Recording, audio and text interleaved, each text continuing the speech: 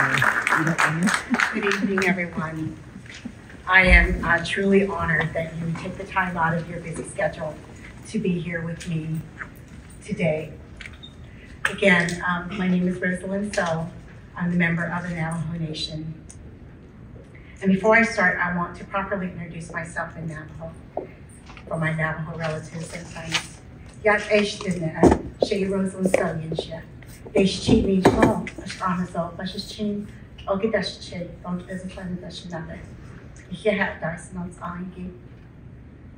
I want to thank again also our honorable uh, tribal leaders that are here today and, and for again making this time to be here with, with us.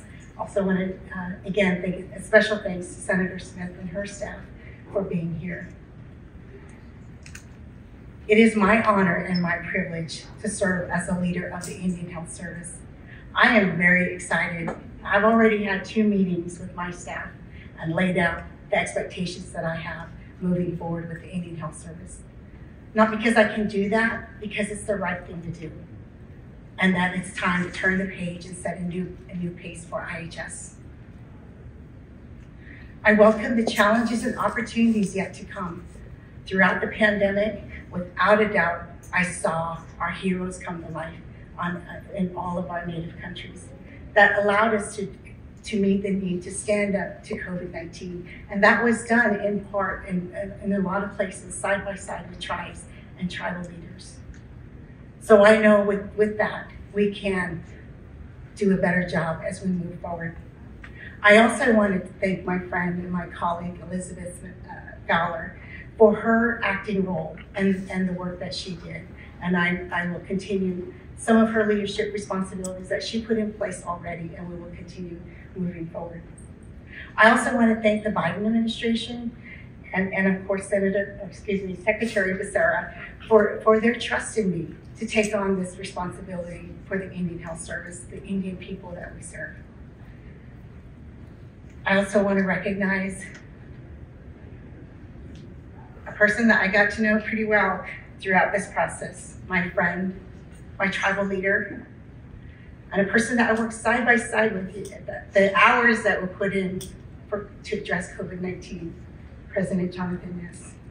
Thank you. Thank you for teaching me many things along the way. I thank you for that.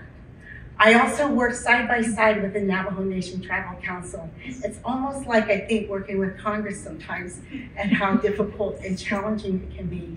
But to understand and to bring, to bring and build those bridges across across the different sides is what, what allowed us to be as successful as we were during the COVID-19. And I know we can do it on Navajo, so we can do it everywhere else, with every other tribe, with every other tribal nation. And that's what I want to strive for.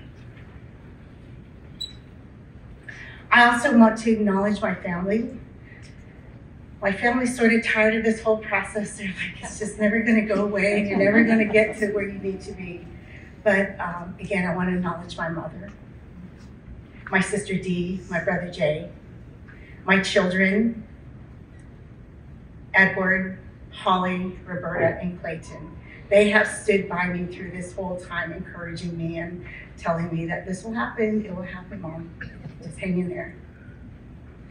Most of you know I spent uh, many, many of my life in Indian Health Service. Mm-hmm. And I also know that some of, some of you might feel that it's been too long. But I am excited. I am ready to take on this challenge for the Indian Health Service. And I am committed to ensuring that we continue to improve access to care and the services that we provide to our tribal people. And I also want to make sure that we're, we're again working side by side with our tribes, our tribal governments, our tribal leaders, and our urban programs and our employees, because without our employees, we can't do what we need to do.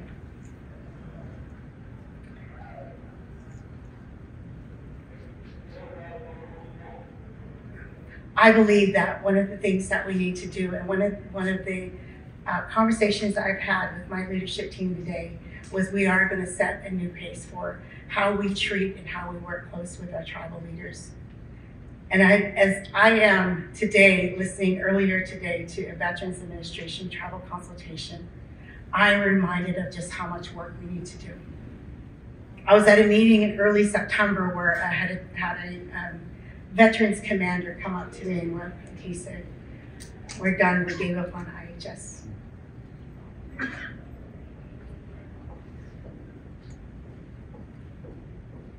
My father is a Korean War veteran.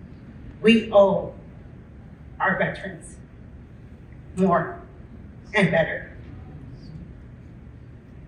Whatever that means, we have to do a better job.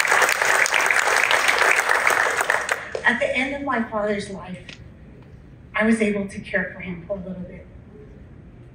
And we drove from clinic to clinic, referred out to another facility, you know, and I, I was glad to do that. But there are many of our families that don't have that ability to do that. So we need to continue to streamline our healthcare system. We need to continue to maximize telemedicine. We need to make sure that our electronic health record works for us and not we're not working for it.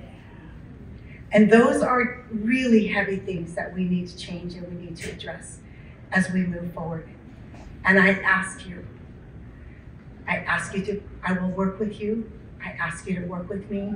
I ask you that I will have, I will, I will provide access to you. One of the things that I heard from my leadership team earlier today, communication is a problem. But communication is a two-way street. It's not just me. I want to hear from you. I want to know what we're doing well and what we need to do better in. I, I want to thank again all of the tribal leaders for all that you do. I just have to watch President Nez and I just multiply that by, by the hundreds that are out there and know that you're, you're not just dealing with health, but you're dealing with everything else on your daily agenda.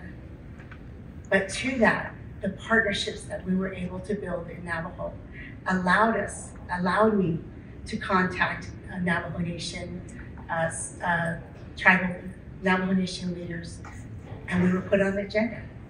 They listened to us, and that's what I want to build with you, with every tribe as we move forward.